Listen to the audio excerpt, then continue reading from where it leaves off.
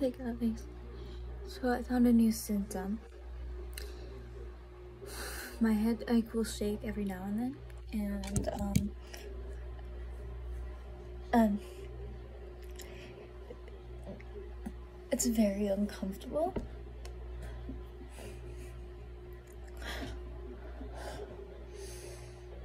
And I get Botox at the end of next month.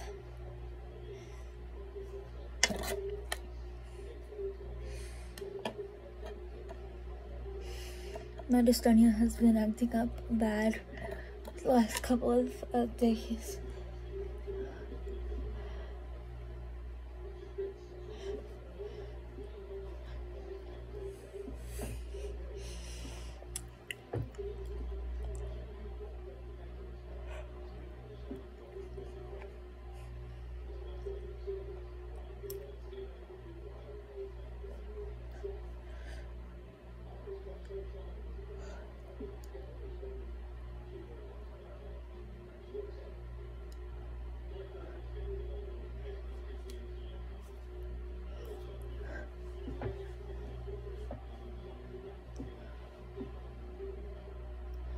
It's very painful.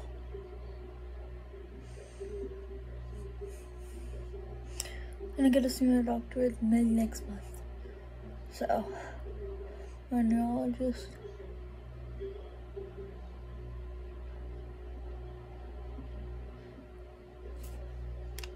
Have a good day.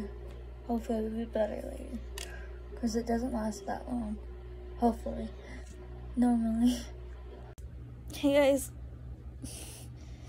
I don't know when this video will go up, but I'm really tight.